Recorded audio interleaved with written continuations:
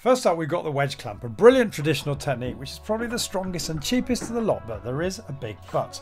You need to clamp or screw the clamp to the joist before each use, and they do get in the way of the lost tight hidden screws that I'm using. Don't get me wrong, this is a fantastic and reliable way of securely clamping something. Next up, we've got my trusty Irwin quick grip clamps. Again, you have to clamp them against something, and here I'm using the back of the wedge clamp because it's easy and close to hand.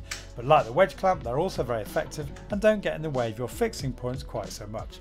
And finally, we've got the laminate flooring ratchet tie down straps. I bought mine from Toolstation. They're designed to grab the flooring at both ends, but I can't get mine under the floorboards, so I've created these five braces screwed at a point that will be hidden by the skirting board. And with all that done, it's effortlessly easy to hook the clamps onto my brace at one end, the floor at the other, and then ratchet the strap tight.